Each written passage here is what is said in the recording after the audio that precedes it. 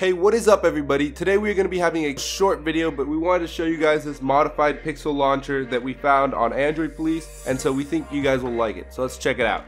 So basically, as you all know, the Pixel Launcher has been out for quite some time, and it has a couple of features that only work if you have it installed on a Pixel device or if you have it installed on a device that is rooted. However, us non-root users were stuck with a GIMP version of the Pixel Launcher if we decided to install it on our device. Well, this is no more. With this modified Pixel Launcher APK, all the Google exclusive stuff such as the Google Now pane and other Pixel exclusive features such as swiping up from anywhere to open the app drawer, long pressing on the icons for the little shortcuts that come up in the pop-up menu sort of like force touch and the Google Now pane, as well as the weather widget on the side of the Google Pill. Now all work flawlessly on your device without any root needed, any mods. You just install the APK and it works right off the bat. You can also tap the little Google Now pill and you get the full-on animation just like a Pixel device.